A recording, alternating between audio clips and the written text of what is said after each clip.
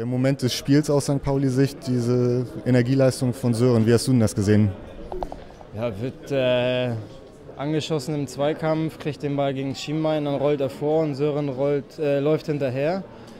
Dann äh, fällt, glaube ich, einer von Ingolstadt um, an dem Sören vorbeiläuft. Äh, hat Sören Glück, dass Basti ihm, glaube ich, den Ball wieder gut äh, in den Fuß spielt. Dann stolpert Sören nochmal und äh, ich glaube, dann durch einen Pressschlag kommt der Ball irgendwie ins lange Eck, ins Tor. Ähm, ja, ein typischer Gonter, glaube ich.